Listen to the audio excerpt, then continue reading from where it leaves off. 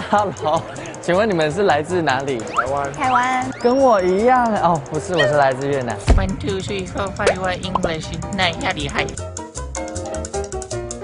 网红曾文翰的脸书粉砖阿汉剖影片卖弄一镜到底的狂演技，席卷了近六十万人追踪关注。台北艺术大学动画系毕业的他，日前应全新动画《可可夜总会》之邀，出访位在旧金山的皮克斯片场。除了一窥唐奥，还遇见了台湾之光哦。大家好，我是许文琴，我是皮克斯的灯光师。啊，我是 Aaron，我是特效师。其实我们皮克斯呢，平常是很注重员工生活还有工作的一个平衡哦。所以我们 campus 上有很多很有趣的娱乐设施，很有趣的娱乐设施。在我身后的是我们的游泳池。游泳池。这是我们的篮球场。篮球。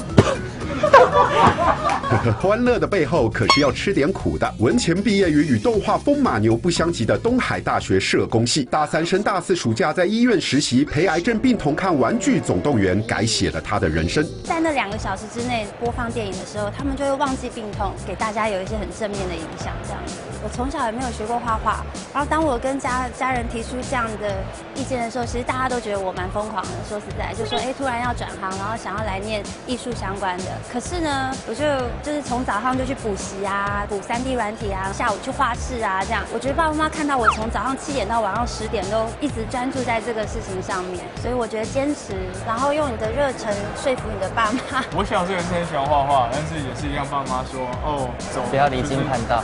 对。No music. No music。毕竟动画需要两种人才，一方面是艺术人才，一方面是技术人才。我是念资讯的，电脑图学啊，计算机图学、动画这个领域，所以我等于是走了一圈，然后又回到回到我自己的兴趣来这样子。嗯，听得阿汉是津津有味，也很感兴趣的样子。那假设英文超烂的话，也可以进来吗？是有多烂？录音工作室啊，这个 record 英文好烂。如果你有实力的话，真的英文能力不是那么重要。看你做寄来的作好不好？像我们部门有一个同事，他是西班牙人，嗯，就从那个西班牙来的。然后他那时候来的时候，一句英文都不会讲。刚来说就是。而且他 interview 的时候，听说还有翻译。耶，那我有机会了。影创中心旧金山报道。哇偶像世界征片！你旅居海外，行脚各地，用影像说故事，讲道理，写日记。你最自豪的 vlog，在每日近三千万浏览人次的苹果网站投放，报酬优渥，重金奖励。作品请进影创中心。